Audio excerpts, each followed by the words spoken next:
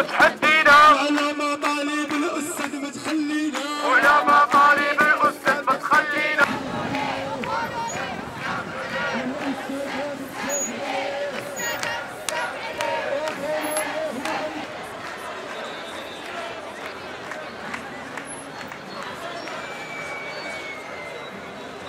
جوج بحارة فوسفات جوج بحارة فوسفات عايشين تحت الصباط والأستاذ بزاف عليه. قولوا ليه عودوا ليه قولوا ليه عودوا ليه أستاذ بزاف عليه. والأستاذ بزاف عليه. قولوا ليه عودوا ليه قولوا ليه عودوا ليه أستاذ بزاف عليه. الاستاذ بزاف عليه. يا وزير يا ملعون. يا وزير يا ملعون. والأستاذ حنا هنا تنجسدوا الخطوات النضالية اللي جاء بها البيان.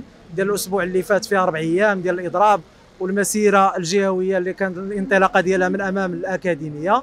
آه، بالنسبة لنا تعبيرا منا على الرفض المطلق لما جاء به اتفاق 10 دجنبير بين النقابات واللجنة الثلاثية ولا الحكومة. آه، عندنا حنا مطالب أساسية لرجوع الأساتذة الاقسام ديالهم مزاوله العمل ديالهم. تتج- تتجسد في ثلاثة ديال النقاط. السحب النهائي ال- ال- ال- النظام الأساسي. وليس التجميد. donc التجميد هو آه، مصطلح غير قانوني. donc السحب والجلوس إلى طاوله الحوار لإعادة ديباجات ديباجاته بين آه، الشغيله التعليمية والوزارة الوصية. النقط النقطة الثانية هي الزيادة المحترمة في الأجور كعدالة اجاريه بيننا وبين جميع القطاعات آه، الأخرى كالصحة والمالية 6000 درهم الصحه 4000 درهم التعليم العالي 3000 درهم.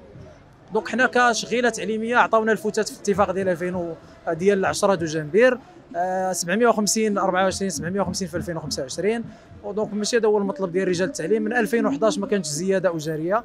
ثانيا عندنا كتنسيقية وطنيه ديال الثانوي التاهيلي مطالب ديال الدرجة الجديدة مطالب ديال التعويض في, الأعباء ديال التدريس وديال التأطير. حنا أساتذة تندرسوا ثانوي التاهيلي الأقسام الاشهاديه عندنا امتحانات البكالوريا. آه، كنقطه ثالثة حل جميع الملفات الفئوية.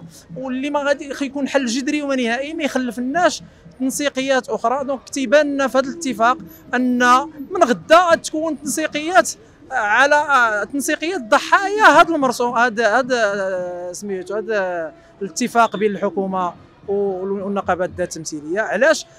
كاين زنزانة 10 من غدا تكون تنسيقية اللي ما تستافش كاين آه، الدكاتره كاين حاملي الشهادات كاين المقصيين كاين بزاف ديال الفئات اللي ما غادي تستافد دونك حنا خرجنا في هذه الخرجة المباركة ديال دابا ستة ديال الأسابيع توصلنا لواحد الدرجة ديال الحقرة ما بعدها حقرة. حنا سنتين وحنا في سلم اجتماعي تندرسوا وليدات الناس وتنتسناو هذا النظام الأساسي يخرج على أساس يكون فيه يكون فيه ما هو إيجابي للشغيلة التعليميه فاذا به. كان نظاما أساسيا مشؤوما ونظام أساسي مشؤوم لم يرقى إلى ما تصبو إليه الشغيلة التعليمية. النقابات التمثيلية هي احصائيا لا تمثل إلا 6% من الشغيلة التعليمية وهي سنوات وهي تتفاوض عمرها ما خرجت بشي آه، خرجت بشي قرار اللي غادي يكون في صف الشغيلة التعليمية وهذاك الشيء علاش دارت تنسيقيات في الميدان لو أن النقابات كانت أهل الدفاع عن الشغيلة التعليمية. كون كنا في منأى على هذا الاحتجاج وهذا الاحتجاج وهذا الخروج في المسيرات إلى ما هو. دونك اللي تتمثل الشغيلة التعليمية في هذا الوقت هما التنسيقيات المناضلة في الميدان. وبالتالي جميع ال- ال- الحوارات وجميع الاتفاقات تشرك فيها التنسيقيات المناضلة.